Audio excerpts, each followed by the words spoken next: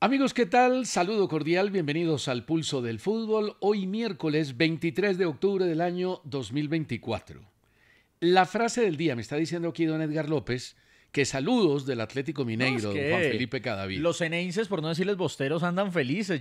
Jason Rodríguez, son demente. Bueno, yo no soy ceneice, pero le dije el mejor equipo de la Copa Sí, Libertadores, pero se lo dije cuando arrancó la Copa Libertadores. lo dijo. Es Mineiro, que no va bien en el Brasileirao, va de octavo, pero es un equipo que juega, es una tromba. Sí, pero yo a los ceneices les diría que, o sea, yo, mire, que yo soy un buen tipo, les digo, les, les Sí, usted deseo, es buen tipo. les deseo suerte, No como otros que les deseo suerte en la semifinal de la Copa, ah, no, están eliminados, entonces les deseo suerte en la semifinal de la Suda, no, también están eliminados, no, les deseo suerte en el Superclásico, ah, no, ya lo perdieron, entonces no tengo cómo desearle suerte. Bueno, mire, la frase del día, póngale cuidado que es una frase muy sabia. La frase es, por tu paz mental, no trates de entenderlo todo. Entonces, en el tema de los de hinchas de boca, no trates de entenderlos, Juan Felipe. Simplemente disfruta y sufre que te agarré un punto más en la polla. Le llevo cinco ya. Cinco, pero hoy tenemos los cinco punticos de América Cali. Mire, eh, hay, hay varios temas. Resulta que eh, nuestro buen amigo Diego Carvajal eh, me paró en las escaleras hoy y me dijo, ¿cómo es posible que un crack como James Rodríguez no cueste 5 millones de euros y no los paguen? Ahora, uno tiene que entender varias cosas en el tema de James, que entre otras sufrió una sobrecarga muscular y volvió hoy al entrenamiento del Rayo Vallecano. Y si uno mira en el historial reciente, James solo ha tenido una lesión en el 2024 y el pinchacito de Antier, que no lo sacó sin un día de los entrenamientos, aunque no va a jugar, no va a estar en la convocatoria, frente al Alavés el próximo fin de semana. Entonces, ¿cuál es el tema de James? El tema de James es que es un crack, no hay duda. ¿Quién le dijo Diego, no? Sí, Diego, Diego, es un jugadorazo, pero hay que tener en cuenta que llegó gratis al Sao Paulo y llegó gratis al Rayo Vallecano. No pagaron un solo peso, simplemente pagaron su sueldo que ya se ha disminuido en un 50%, pero que sigue siendo muy alto para un equipo de bajo recaudo, no en el caso del Sao Paulo, sino en el caso del Rayo Vallecano. Y James Rodríguez, en su cotización, no está en los primeros 500 jugadores del mundo. Ahora, eh, a Diego y a, la, y a la gran mayoría que piensan así, que está bien, o sea, son, son opiniones. César, hay que dejarles algo claro. Si uno como, como scouting o como director deportivo, como lo quieran llamar, de un club va a buscar a James, uno lo primero que busca los antecedentes en el club, ¿o no? En los clubes. sí, y los antecedentes en los clubes de James no son positivos. Entonces, claro, nosotros en Colombia tenemos la imagen de la selección, que es extraordinaria.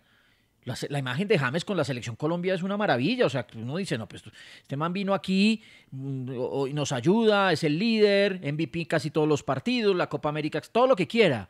Pero si yo soy el director deportivo de un club, yo le miro los antecedentes en los clubes y son malos. mire, miremos los Son- son- antecedentes. son muy malos. Miremos los antecedentes. James Rodríguez triunfó y fue campeón con Banfield. Eh, estamos hablando ya de hace cuando tenía 18 años. ca- 14 años, más sí, o menos. Sí, sí, 14, 15 años. Tenía 18 años cuando llegó, fue figura y le fue muy bien con Falcioni.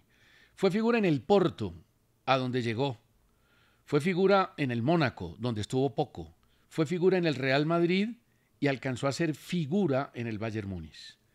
A partir de ahí, ha tenido los siguientes técnicos: Íñigo Pérez, Luis Ubeldía, Dorival Jr., Tiago Caprini, Michel, Laurent Blanc, Nicolás Córdoba, Nico Kovac, Zinedine Zidane, Rafa Benítez, Claudio Ranieri, Reinaldo Rueda, Carlos Queiroz. Trece técnicos y con ninguno pudo jugar, que son los más recientes. Ahora, juega, con, jugó con Peckerman y juega con Néstor la- Lorenzo la- en selección. la- las probabilidades de que James en el club juegue poco son muy altas.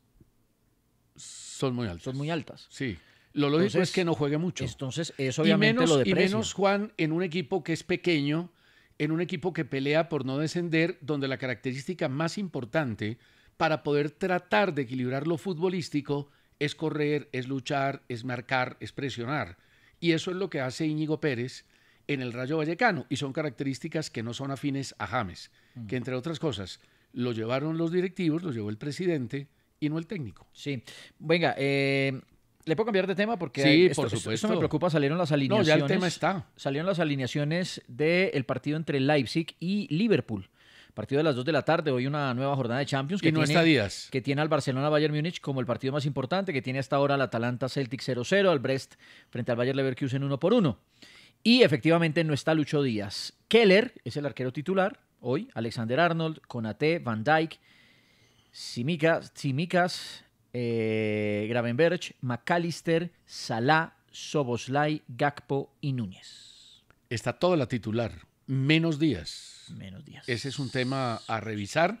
Pensaría uno que hoy el partido inmediato más importante de Liverpool es el de la Liga Premier y no el de la Liga de No Campeones. sé, pero yo no quiero como meterme Pero- esa mentira sin estar claro. Pero puede ser una mentira, Eh, sí. Puede el fin ser- de semana, el fin de semana tiene un partido. Puede ser un totazo mental. Usted ha habli- ha- ha Me- oído me- hablar me- de los totazos me- mentales. lo he escuchado con otra palabra, pero no, no, sí. totazo mental. Totazo, totazo, me Totazo gustó. mental. Pero César, eh, el partido del domingo es durísimo. El que tiene Liverpool lo tiene frente al Arsenal, eh, en casa del Arsenal. Por eso. Entonces sí, pero entonces. si ¿por es titular ahí, es titular del Sí, Liverpool. pero ¿por qué? ¿Por qué? Pues- pues- si no es titular ahí, empecemos pero a es que uno preocuparnos. dijera, uno dijera, listo, está cuidando a tres o cuatro. no está, no, no está. No, no está. No, Gakpo por él, Salah no, por el otro va lado. Gapco por la izquierda, Salah y por el medio. ¿Quién va? Eh, Soboslai. Soboslai, que es media punta. ¿no? Salah, Salah, Soboslai, Gakpo y, y Núñez arriba. Bueno, mire, el Galatasaray le ganó 4-3 al Elsborg en la Europa League. Buen Jugó- partido de Davinson. Jugó todo el partido Davinson. Empezó ganando cómodo Galatasaray 3-0, un penalti, se puso el partido 3-1, luego 4-1 y al final ya por allá lejos el 4-3. Y estamos pendientes de las formaciones en Barcelona-Bayern. Mire, Miller Ospino, Ospino, Miller Ospino, desde el difícil Magdalena, ahora le tengo una propuesta para toda la gente del difícil El difícil el Magdalena. difícil Magdalena. Con respecto a los goleadores colombianos históricos y que Vaca se acercó con doblete frente al Deportivo Pereira, no estoy de acuerdo con César que ha dicho que los goles en segunda división no suman. Creo que los equipos de primera o segunda división son considerados profesionales, por lo tanto, son goles de equipos profesionales. Yo respeto la opinión Don Miller y usted tiene razón, son goles profesionales. Pero la estadística de liga y de torneos tipo A en el mundo dicen otra cosa. En Inglaterra es profesional la primera categoría, la segunda, la tercera y la cuarta. En España también, primera, segunda, tercera y cuarta. En Italia y en Alemania también. Entonces uno no puede sumar los goles de cuarta categoría, de tercera categoría, de segunda categoría, simplemente porque son profesionales. Yo sé que es una pelea que, que no es de ganar o de perder. La verdad es que a mí esa parte no ni me quita ni me pone. Yo trato de ser Pero le riguroso. salta siempre a todos. Yo trato de ser riguroso en el tema de los goles. ¿Por qué? Porque es que para uno poder comparar una estadística, tiene que poner los Oiga, pero jugadores final- en el mismo barco, en el mismo camión, en la misma Pero- balsa. pero, César, pero- si yo pongo unos en un buque y los otros en una chalupa, pues obviamente que Pero el de la pero- chalupa va a agarrar los pescados más fácil. Pero al final, al final, ¿eso quién lo decide? ¿La FIFA? ¿Quién lo decide? no, eso porque lo decide final- la Dimayor. yo creo que la Dimayor lo decide. No, porque por los goles que. No, porque digo yo. son dos torneos de Dimayor. Sí, no, no, no, no, no, no, pero digo yo, al final de la carrera de Vaca, cuando Vaca se retire y le hagan el homenaje y tal, eh, el número que salga tendrá que salir de un ente No, oficial. Que sí. ¿Cuál va a ser el ente oficial? Yo supongo que la FIFA. Sí, pero la FIFA jamás, jamás la FIFA en la lista de goleadores ha sacado goleadores mezclando la primera división con la división B o segunda división. Bueno. Pero bueno, don bueno. Ospino vale su, Hablando, su protesta. hablando de delanteros, hablando de delanteros, eh, hoy en horas de la mañana, camino hacia el entrenamiento, eh, se vio involucrado en un accidente Alfredo Morelos. Hay imágenes de su camioneta golpeada, una moto. Eh, entiendo que el motociclista tuvo que ser remitido al, al hospital. Lo que nos cuentan es que Alfredo iba hacia el entrenamiento, como cualquier mañana, que también aparecen las fotos Guzmán, el, el jugador también de Atlético Nacional, que no iba con él, sino que seguramente iba en el camino y se lo encontró y paró, se detuvo Para ayudar. que le habrían que, les, que le habrían realizado, le van a realizar prueba de alcoholemia. No, se la debieron hacer ahí en el Como en todos los accidentes. O sea, no es porque sea él, no porque nada. Como en todos los accidentes se realizan la prueba de alcoholemia Y estamos a la espera de, de que pase, ojalá no pase a mayores primero por la vida del motociclista y ya después obviamente con el jugador de Atlético Nacional que viene de marcar seguido, ¿no? O sea, está en su momento. Está en su momento en y su es un extraordinario goleador y ojalá no le haya pasado nada al motociclista y tampoco a Alfredo Morelos. Pero a propósito de los difíciles, el difícil Magdalena, Alfredo Moreno hace parte de los jugadores Morelo. difíciles. Morelo. Morelo. Uy, uy, sí hace, que hace falta de los jugadores en difíciles. Escocia sí que sufrieron con él. Díscolo, el técnico, Lampard, Sí, Lampard. sufría permanentemente, le tenía que llamar la atención, que no haga esto. Era Se Gerard, ponía Gerard. Gerard, Gerard, Gerard. Era Gerard, no Lampard. Era Gerard. Era Gerard. Es correcto. Entre otras cosas, sabe, Steven Gerrard. sí, ¿sabe quién nos corrigió? Y con toda la razón, ¿Quién? eh, voy a decir, Pero bueno, mientras usted lo encuentra, No, aquí yo, lo tengo. yo jugadores difíciles. aquí lo tengo, Eduardo Alfonso Jiménez. ¿Qué dijo? Señores, ¿cómo así que Valdano no jugó en el Real Madrid? No, yo pregunté, no me acordaba. No, yo tampoco me acordaba y yo respondí que no me acordaba.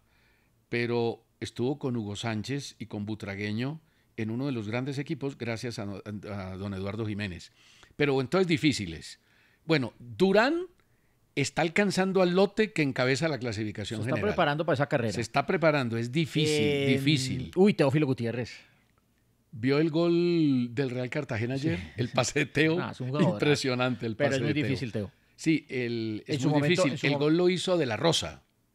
De la Rosa. En, en su momento, Wilfrido. Wilfrido. Usted Eh, tiene buen equipo, el Real Sí, Cartagena. En su momento, César, y lo hablé muchas veces con él, pasa en su tumba, lo recordamos mucho, Mario Ramírez decía, mire, yo era muy difícil para los entrenadores. Era, era difícil. Él dice, uy, yo era cansón, yo era aburridor, yo era de todo, de- decía John Mario, a quien recordamos con mucho cariño.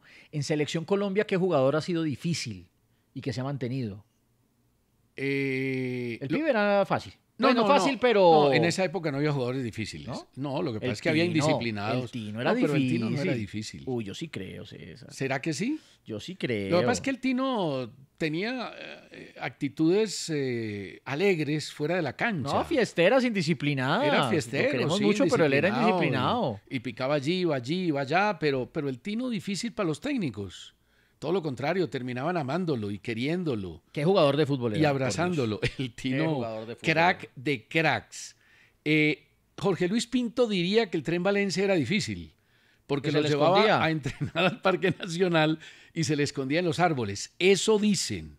Eh, una vez le pregunté al tren Valencia y el tren dice que eso era mentira, que eso hace parte de la leyenda popular y que Como- él nunca se escondió. Como también decían Como que eran se- circuitos, daban la vuelta, entonces él se escondía, daban dos vueltas a los compañeros y a la tercera volvía Bueno, a entonces sí salir. debe ser mentira porque yo me la sabía. Era allá abajo en, en la 80, en Siberia. ¿dónde es que entre- en, en el En- Parque La Florida. en la Florida, sí. En la Florida decían que se escondía en los tachos de basura. No. Sí, sí, sí, sí. Como el chavo. Como el chavo, sí, señor. Bueno, mire, tengo noticias sobre equidad. Es que se viene manejando a Sí, porque nivel quiero de que, hablemos, quiero que hablemos de lo del Medellín anoche y lo del Boyacá Chico. Y lo de Durán no vamos a hablar un poquito. Hay que hablar de lo de Durán. Hay que hablar de Vinicius. Oiga, vi una imagen, un meme, yo no sé qué sé cómo llamar eso, espectacular. eh, Ayer me vaciaron que porque yo dije que Vinicius era galáctico. Es recontragaláctico. Oiga, pero además- Ahora, yo quiero poner a Vinicius a la altura de Figo y de Zidane. Me voy. No se me aterre. Me voy. No se me aterre. No, decida, no me lo ponga. el- ¿Cuántos años tiene cuando- Vinicius? No, no, Vinicius es no, no. crack. El que, el que crea que no es galáctico, perfecto, lo respeto. pero para mí es de los grandes galácticos que ha llegado a la historia de uno de los grandes del mundo, si no el más grande, Real Madrid. Espere, espere, pero yo sí creo que usted, uy, en la misma fila no puede parar a Zidane con ¿Por qué no? Vinicius. No sé si más adelante. ¿Por qué no? No, porque Sisu fue campeón del mundo, porque Sisu... Yo lo estoy parando, lo estoy parando Le digo una cosa, jugadores. le digo una no, por eso, por jugadores. eso, y- y por logros todavía no, porque Vinicius es muy joven. ¿Y Sisu logró como eso? Pues como jugador. No. No, pero Sisu. Mire, Sisu, Sisu se sienta en la mesa a comer junto a Maradona, a comer junto a Messi, a comer junto a Pelé, a comer junto a Cruyff y a Beckenbauer. A Vinicius lo puede poner en un Eh, rinconcito. la de al ladito, la de ahí al ladito, Bueno, pero, todavía la póngalo, mesita no. Pero póngalo en un rinconcito. Lo que La pasa es que es muy no. joven. No sé si Jonathan... no sé- Vinicius es muy joven. Venga, venga, pero está buena la pregunta. Preguntémosle a la gente. No sé si nos pueden ayudar con una encuesta eh, en uno de nuestros canales Sí, de YouTube. Jonathan la puede poner en YouTube y preguntar si Vinicius es galáctico. Yo No, no, no, lo no, estoy no, no, no, comparando. no, porque esa no, esa no porque, a ver, por ejemplo, David Beckham es galáctico, pero David Beckham no se sienta en la misma mesa de los que le nombré. Zidane No, sí, no. Y, Zidane y sí. para mí, si usted me pone a escoger entre Beckham y Vinicius, me rapo a Vinicius. Está perfecto, está perfecto. Pero y si- Beckham era galáctico. pero no, yo creo que la comparación es con lo Pero que es que eso fue lo dijo. que yo dije. La barbaridad con Sisu. No, usted dijo que con La- la- Zidane. La, barbaridad. Sí, la barbaridad. ¿Le parece una Sí, barbaridad? con Zidane sí. Como jugadores de fútbol. Sí, con Sisu sí. A ver, ¿cuál le gusta más jugando fútbol? A ver. No por títulos, no por historia, no por lo que significó Sisu para la selección francesa. Zizou. Si usted tuviera hoy al Deportivo Pereira y fuera presidente del Pereira, ¿a quién se trae? ¿A Sisu o a Vinicius? A Zidane 77 veces. Una pausa y ya seguimos.